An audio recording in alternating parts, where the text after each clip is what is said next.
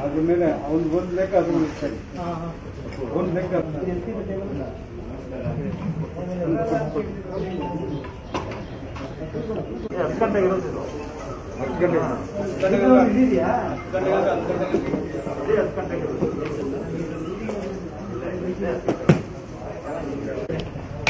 ಬರ್ಲಿಕ್ಕೆ ಬರ್ ಬರ್ತೀನಿ ಓಂ ಶ್ರೀ ಮಂಜುನಾಥಾಯ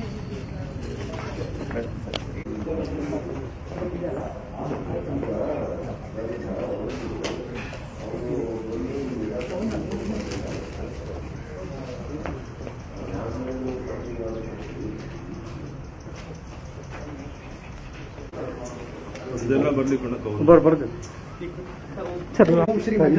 ಇಲ್ಲ ಇಲ್ಲ ಬಂದಿಲ್ಲ ಈ ಕೋವಿಡ್ ಸಮಯದಲ್ಲಿ ಜ- ನಮ್ಮ ರಾಜ್ಯದ ಎಲ್ಲ ಜನತೆಗೆ ಬೇಗ ಆ, ನೆಮ್ಮದಿ ಸಿಗುವ ಹಾಗಾಗಲಿ ಅಂತೇಳಿ ಮಂಜುನಾಥ ಸ್ವಾಮಿಯಲ್ಲಿ ಮೊದಲಾಗಿ ಪ್ರಾರ್ಥನೆ ಮಾಡಿಕೊಟ್ಟು ನಮ್ಮ ಸನ್ಮಾನ್ಯ ಮುಖ್ಯಮಂತ್ರಿಗಳು ತಮ್ಮ ತಮ್ಮ ಆಡಳಿತದ ಅವಧಿಯಲ್ಲಿ ಬಹಳ ಚೆನ್ನಾಗಿ ಇದನ್ನು ನಿರ್ವಹಣೆ ಮಾಡಿದ್ದಾರೆ ಅನ್ನುವಂಥ ಮಾತನ್ನು ಪೂಜ್ಯರು ಮೊದಲಾಗಿ ತಿಳಿಸಿದ್ದಾರೆ ಅಂತ ಹೇಳ್ತಾ, ಕಳೆದ ಒಂದೂವರೆ ಒಂದೂವರೆ ತಿಂಗಳಿನಿಂದ ಕ್ಷೇತ್ರ ಧರ್ಮಸ್ಥಳದ ವತಿಯಿಂದ ಕೂಡ ಅನೇಕ ಕೋವಿಡ್ ರಿಲೇಟೆಡ್ ಕೆಲಸಗಳನ್ನು ಸರ್ಕಾರಕ್ಕೆ ಬೆಂಬಲವಾಗಿ ಮಾಡ್ತಾ ಇದ್ದಾರೆ ಮುಖ್ಯವಾಗಿ ಸರ್ಕಾರಿ ಆಸ್ಪತ್ರೆಗಳಿಗೆ ಬೇಕಾಗ್ತಕ್ಕಂಥ ಉಪಕರಣಗಳನ್ನು ಒದಗಿಸುವಂತಹದ್ದು. ಅಲ್ಲಲ್ಲಿ ಏನೇನು ಕೇಳ್ತಾ ಇದ್ದಾರೆ, ಅದನ್ನು ತತ್ಕ್ಷಣದಲ್ಲೇ ಒದಗಿಸುವಂತಹದ್ದು. ಸುಮಾರು ಮೂರು ಕೋವಿಡ್ ಕೇರ್ ಸೆಂಟರ್ಗಳು, ಎಂಟುನೂರು ಬೆಡ್ನ ಕೋವಿಡ್ ಕೇರ್ ಸೆಂಟರ್ಗಳನ್ನು ನಡೆಸುವಂತಹದ್ದು.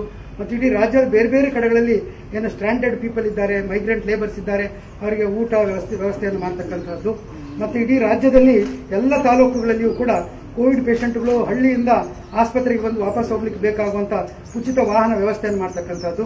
ಮತ್ತು ಆಕ್ಸಿಜನ್ ಕೊರತೆ ಆದಂಥ ಸಂದರ್ಭದಲ್ಲಿ ವಿಶೇಷವಾಗಿ ಪ್ರಯತ್ನ ಪಟ್ಟು ಆಮ್ಲಜನಕವನ್ನು ತರಿಸಿ ಸರ್ಕಾರಿ ಆಸ್ಪತ್ರೆಗಳಿಗೆ ವಿತರಣೆ ಮಾಡುವಂಥ ಕೆಲಸಗಳನ್ನು ಪೂಜ್ಯರ ಮಾರ್ಗದರ್ಶನದಲ್ಲಿ ಇದು ನಡೀತಾ ಇದೆ. ಇವತ್ತು ಸಾಧಾರಣ ಮುನ್ನೂರು ಆಕ್ಸಿಜನ್ ಕಾನ್ಸಂಟ್ರೇಟರ್ಗಳನ್ನ ಪೂಜೆ ಇದಕ್ಕಾಗಿ ಆಮದು ಮಾಡಿಸಿಕೊಂಡು ಸರ್ಕಾರಿ ಆಸ್ಪತ್ರೆಗಳಿಗೆ ವಿತರಿಸಲಿಕ್ಕೆ.